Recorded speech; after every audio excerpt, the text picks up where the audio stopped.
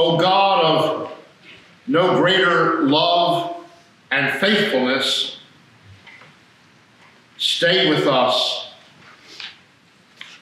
abide with us as we walk life's road, sometimes so dark and difficult. By faith, assure us that the Spirit of your risen Son walks with us, leading us and guiding us from despair to resurrection hope, and filling our sorrows with Easter's joy. In Jesus' name, the victorious Lord over all. Amen.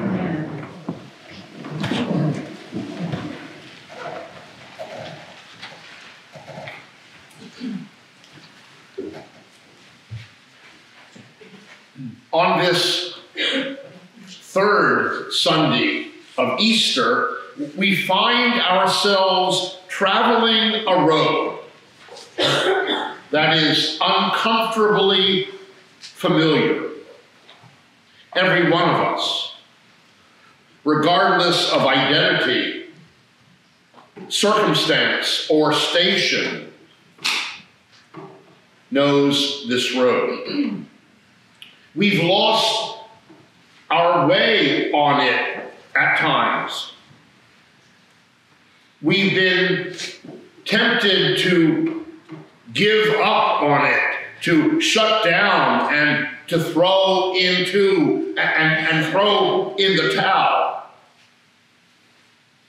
Because the road is so rough.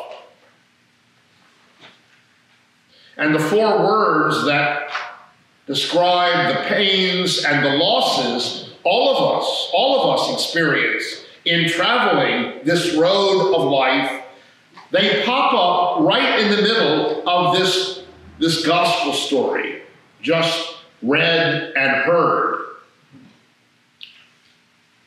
But we had hoped. But we had hoped.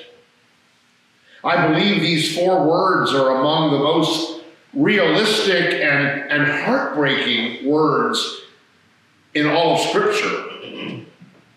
But we, we had hoped. We had hoped. The tumor was benign.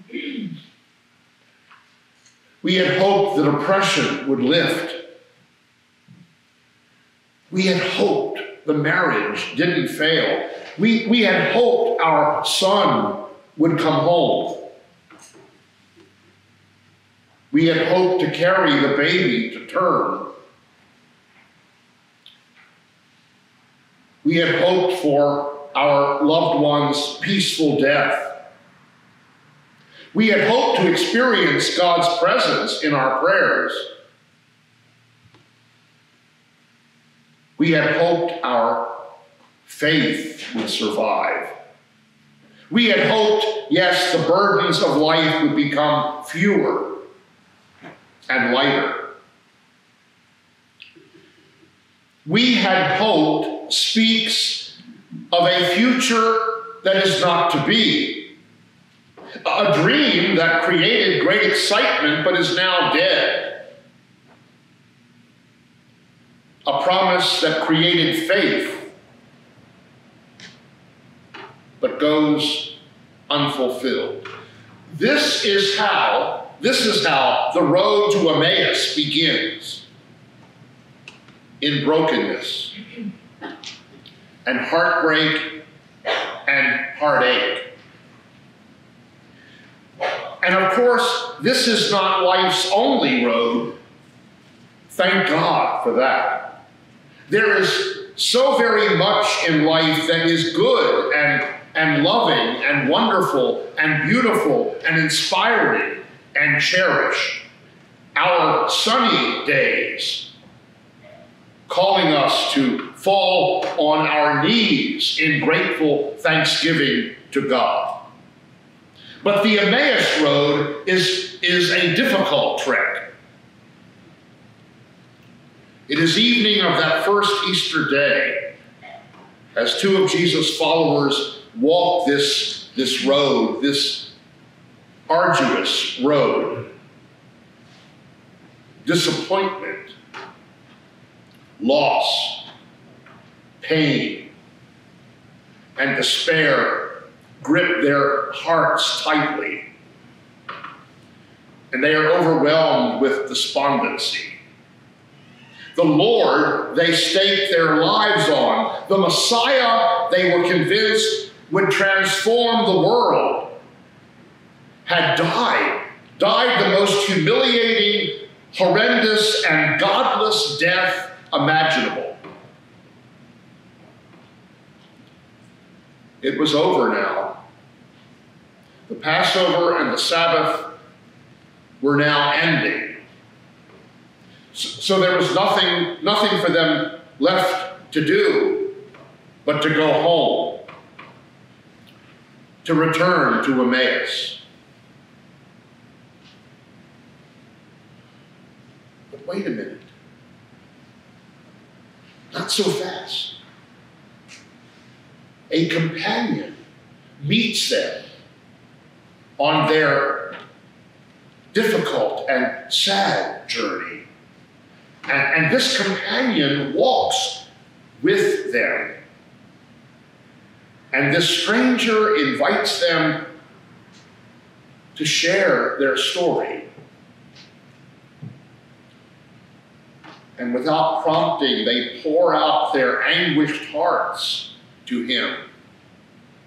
The story of their faith, its rise, and now its fall. They tell how high their expectations and hopes had been for their Lord Jesus. Crucified. And now dead. They share with him their, their devastation and despair at his death their, their loss and grief, and now their utter confusion. And the companion listens intently. And in, and in response to their woes, the companion opens the divine scriptures to them and the eyes of their faith begin to open. And yet, in Jesus' resurrected body, they still don't realize it's Him. L- let me take a quick detour here for what, for what happens next is pivotal. The trio reaches Emmaus. And Jesus gives them the option to continue on to their homes without him, to return to their ordinary lives and not dig deeper and, and, and learn more from this man, this man who makes their, their hearts burn. And you see, this is always our choice as well as we walk life's road.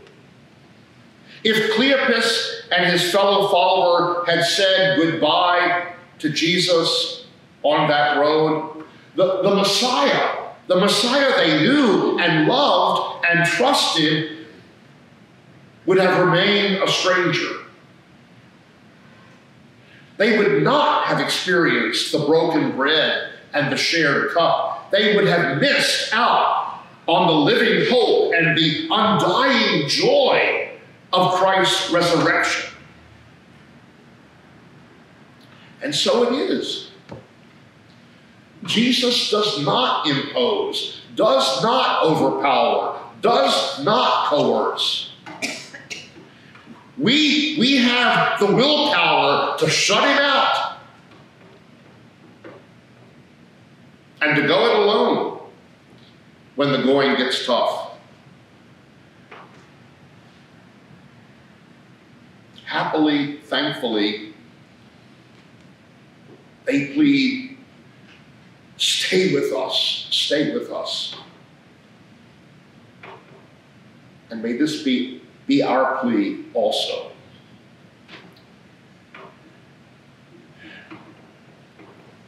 Now, here is the greatest victory the world has ever known or will know. The most extraordinary, spectacular event has just happened that very morning.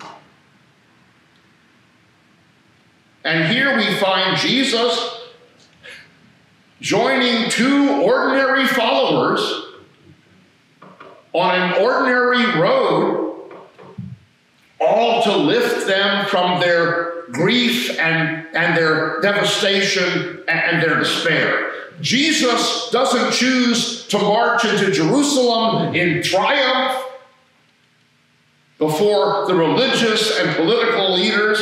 Jesus doesn't host a celebratory banquet with his disciples. Jesus chooses to not set the sky aflame, ablaze with fireworks. No. This stranger and companion, who is the Savior, deems it most important to meet two of his followers on life's Emmaus road, chooses to nourish his followers with his word, his body, his blood, his grace filled presence. For whenever and wherever we make room and we pray, stay, stay with me, Lord.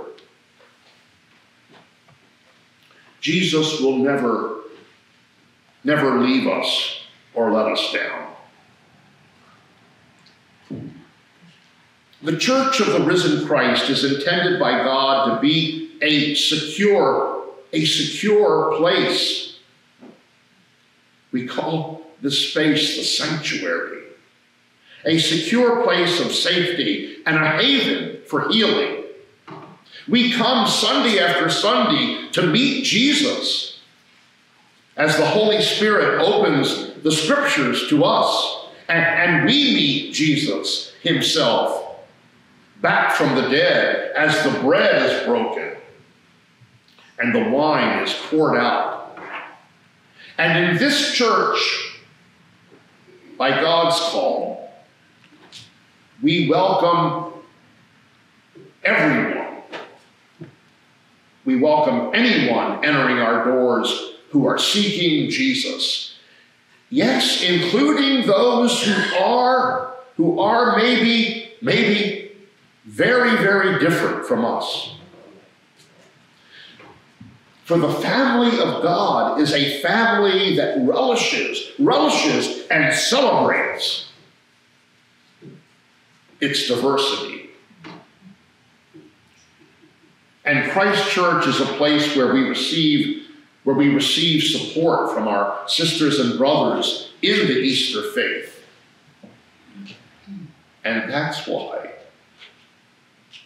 that's why I'm so very thrilled and thankful, really excited and ecstatic that Deacon Harry and our sister in Christ, Elizabeth Shear, as a licensed clinical social worker, they are offering and are leading a grief and loss support group here at the church. Anyone 18 years or older who has experienced the Emmaus Road, who has experienced loss and grief of any kind, and we all qualify, right? All are welcomed and encouraged to attend. Come, learn about grief and loss. And share your experience in a supportive and safe and caring environment open to all.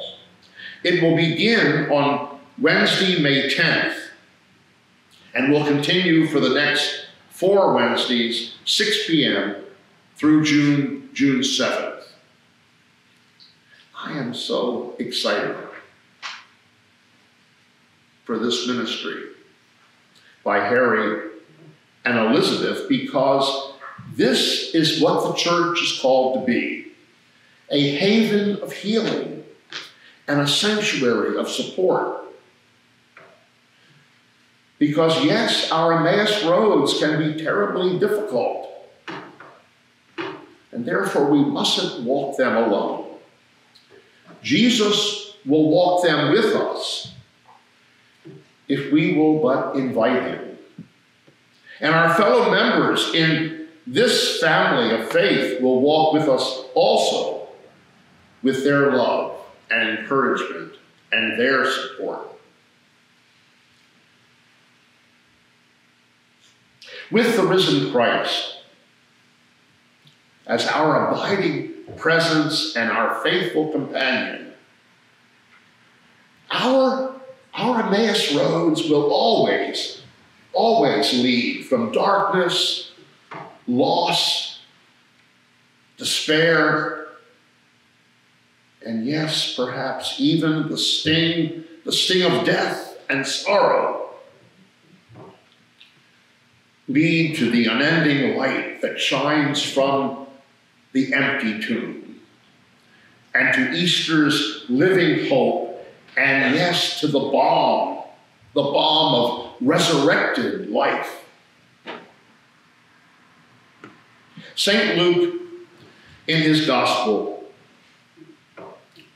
shares with us today the Easter story of these two followers of Jesus whose trek, whose trek begins with their hearts broken but culminates with their hearts burning with resurrection joy as they meet their risen Lord. It's always so. As they meet their risen Lord, revealed to them as he opens the scriptures to them and breaks the bread for them. In the name of the Father, and of the Son, and of the Holy Spirit. Amen. Amen.